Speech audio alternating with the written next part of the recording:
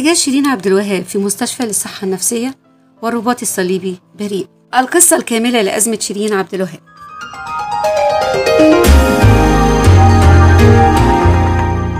حالة كبيرة من الجدل أثيرت خلال الساعات القليلة الماضية حول الحالة الصحية للفنانة شيرين عبد الوهاب.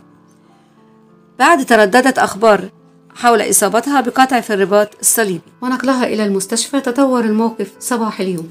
ليعلن محاميها ياسر كنتوش عن احتجازها بالقوة في أحد المستشفيات وتعرضها للضرب على يد شقيقها وتقدم ببلاغ للنيابة العامة يتهم فيه شقيق الفنانة شيرين عبد الوهاب بالتعدي عليها بالضرب المبرح بسبب تنازلها عن القضايا التي كانت بينها وبين طليقها حسام حبيب. وكشف ياسر كنتوش بعد تحريره محضر إثبات حالة أن شقيقها احتجزها في المستشفى قسرا بعد إصابتها بالرباط الصليبي.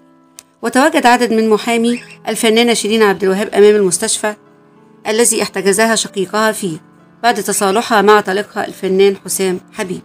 إلى أن حقيقة ما حدث قد تبدو مختلفة تماما عن الرواية التي تم تداولها خلال الساعات القليلة الماضية.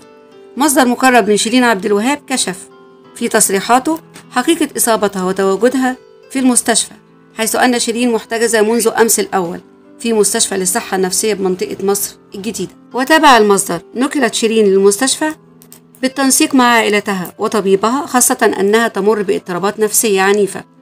استدعت نقلها إلى المصحة وذلك بالتزامن مع اتفاق الصلح الذي أبرمته مع حسام حبيب منذ أيام.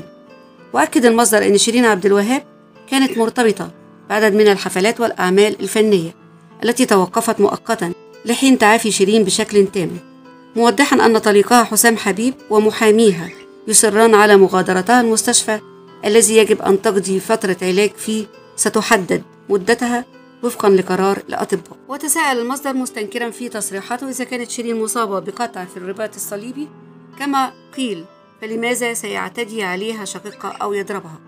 ولماذا يصر حسام حبيب على مغادرتها للمستشفى؟ وهل يجوز احتجاز شخص مصاب إصابة جسدية مثل قطع بالرباط الصليبي في مستشفى ومنع الزيارة عنه؟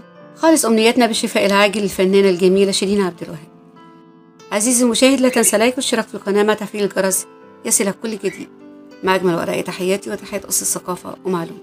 تابعونا.